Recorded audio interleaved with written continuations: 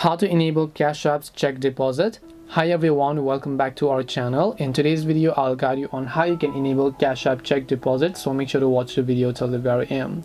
In order to enable check deposit on cash app all you have to do is simply first of all go ahead and then just make sure to launch cash app on a device once you launch Cash App, you're going to be able to see this sort of interface where what you need to do is, let's say currently if I come to the Home tab, right under this more ways to add money, you can see I don't have the option to check deposit. While most people have it on their account, why don't you have it?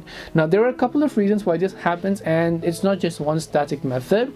First of all, I want you to just verify your identity and to verify your identity, tap the profile icon from the top right hand side of the screen. Then you want to simply go to this option known as security and privacy privacy and then here you'll find identity verification that says verify your information to help prevent fraud on Cash App. So all you have to do is simply go ahead and tap on the verify option that you can find here and just go ahead and verify with a couple of information such as a legal documents and so on.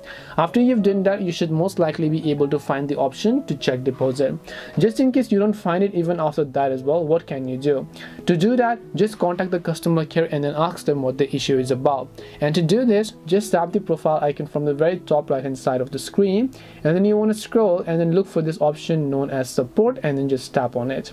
Once you tap on the support option over here you'll be able to see this sort of interface and once you hear what you want to do is at the bottom contact us and you can see chat. You can just tap the chat option here. And as you tap the chat button as you can find it over here you will be able to simply go ahead and then basically type in whatever else you prefer in this case and then you'll be able to enable cash app's check deposit. So this way you can go ahead and enable check deposit on cash app. Hope this video was very helpful to you guys. If it did help you make sure to leave a like and subscribe to the channel. If you have any questions feel free to leave them down. Thank you for watching and see you in the next video